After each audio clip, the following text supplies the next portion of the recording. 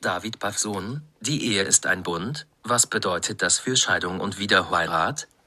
Zuerst möchte ich definieren, was wir mit einem Bund meinen, und ich kann es am besten tun, indem ich es mit einem Vertrag vergleiche. Vertrag ist uns viel vertrauter als Bund, und das ist eines unserer Probleme.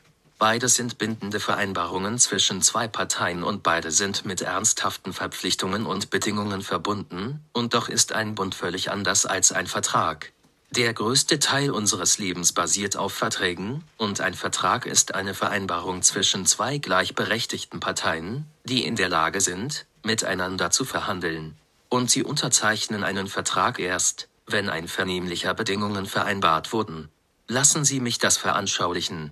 Sie wollen eine Immobilie bauen, also suchen Sie sich einen Bauunternehmer, dann verhandeln Sie mit diesem Bauunternehmer, wie viel es kostet, wie lange der Bau dauern wird und viele andere Bedingungen. Und sobald Sie sich auf die Bedingungen geeinigt haben, unterzeichnen Sie den Vertrag. Aber wenn einer von Ihnen sich nicht an die Bedingungen hält, wird der Vertrag null und nichtig. Wenn Sie die Rechnungen nicht rechtzeitig bezahlen, ist der Bauherr vom Vertrag frei. Wenn er das Gebäude nicht rechtzeitig herstellt und innerhalb der Kosten, sind sie vom Vertrag befreit. Es wurde einvernehmlich vereinbart, weil sie beide in einer starken Position sind, sie sind in der starken Position, das Geld zu haben, das er will. Er ist in der starken Position, die Fähigkeit und das Material zu haben, das sie haben wollen. Sie können also beide verhandeln. Die meisten Geschäfte werden auf Vertragsbasis getätigt, die meisten Dinge unseres Lebens basieren auf verschiedenen Verträgen, mit oder ohne Bedingungen. Nun, ein Bund ist etwas ganz anderes, es ist eine einseitige Vereinbarung zwischen jemandem in einer starken Position und jemand in einer schwachen Position, und deshalb gibt es keine Verhandlungen. Niemand kann die Bedingungen ändern, die vom stärkeren Partner festgelegt werden und die andere Person hat keine Freiheit, außer zuzustimmen oder nicht zuzustimmen, den Bund anzunehmen oder abzulehnen, aber das ist die einzige Freiheit, die Sie haben, Sie können sie nicht ändern. Wie ein Vertrag basiert auch ein Bund auf Versprechen, aber die Versprechen sind nicht das Ergebnis der gegenseitigen Verhandlung. In der Antike eine der häufigsten Verwendungen eines Bundes war zwischen einem König, der ein anderes Land erobert hatte und den Bedingungen, die er dem besetzten Land aufdrückte. Also der Eroberer regelte die Bedingungen des Bundes, und das Volk hatte keine Wahl außer die Bedingungen zu akzeptieren oder abzulehnen, was Rebellion und Revolution bedeutete. In den meisten Fällen akzeptierten sie, weil darin ihr Frieden und ihre Zukunftssicherheit lagen. Also der König Eroberer des Landes würden sagen, dies sind die Bedingungen meines Bundes, akzeptierst du? Die einzige Antwort, die sie geben konnten, war ich werde oder wir werden oder wir werden nicht. Jetzt hoffe ich, dass Sie den klaren Unterschied zwischen einem Bund und einem Vertrag verstanden haben. Es gibt keine Verträge in der Bibel. Aber eines der Dinge, die die Leute immer versuchen, ist es zu tun, einen Vertrag mit Gott schließen, und das kannst du nicht tun. Der Grund ist sehr einfach. Wir haben nichts, was Gott will. Wir haben nichts, was er braucht. Einer meiner Lieblingstexte ist da Psalm 50, und Gott sagt in diesem Psalm, wenn ich hungrig wäre, würde ich es dir nicht sagen. Das ist ein schöner Vers, um uns alle an unseren Platz zu verweisen. Anschließend nennt er die Gründe dafür.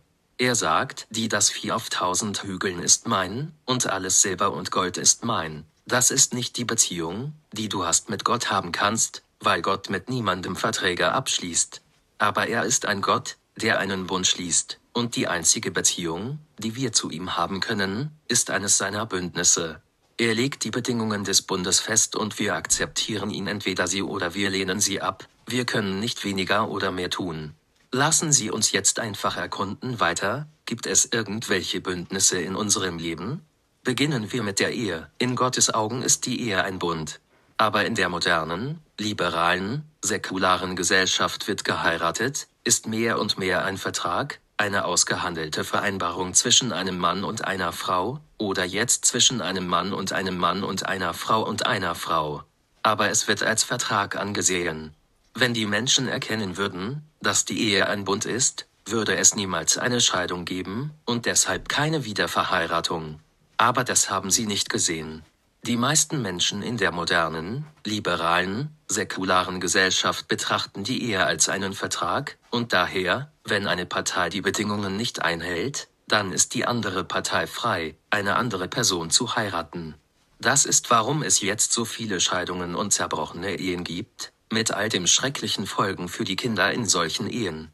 Sie glauben also, dass die Ehe offensichtlich ein Bund ist, aber die Welt glaubt das nicht. Das ist einer der Punkte großer Spannungen zwischen Christen und Gesellschaft heute. Es ist ein Bund, und ich habe von einem Mann im Norden Englands gehört, dessen Frau kurz nach seiner Heirat auf die schiefe Bahn geraten ist. Sie endete als Prostituierte auf der Straßen. Seine Freunde sagten ihm, sie nützt dir nichts, lass dich scheiden und suche dir eine Frau, die eine richtige Gefährtin für dich und eine Hilfe für dich sein wird. Wütend drehte er sich zu ihnen um und er sagte, sprich niemals so mit mir über sie. Sie ist meine Frau und ich werde sie lieben, solange noch Atem in ihrem Körper ist. Kurz nachdem sie an ihren schlechten Wegen gestorben war, und als sie im Sterben lag, war er da, seine Hände in Liebe und Gebet über sie ausgebreitet. Das ist eine Bundesehe. Es ist kein Vertrag. Es gab allen Grund, warum er vom Vertrag hätte frei sein können, aber er weigerte sich, es anzunehmen, weil er seine Ehe als einen Bund vor Gott ansah. Siehst du den Unterschied?